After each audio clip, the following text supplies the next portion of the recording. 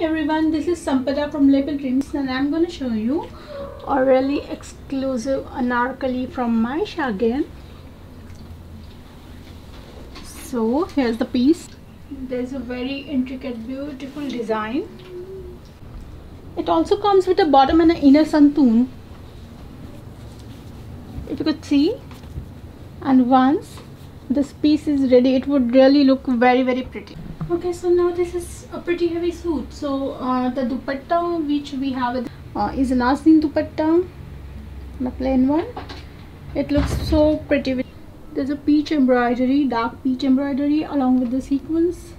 Piece goes with the lace and down if you could see there are a lot of sequin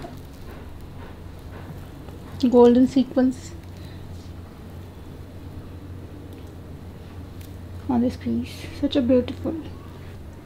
This would be the sleeves for the dress. Again over here there's a nice embroidery. This is a beautiful anarkali piece which can be worn on a wedding or party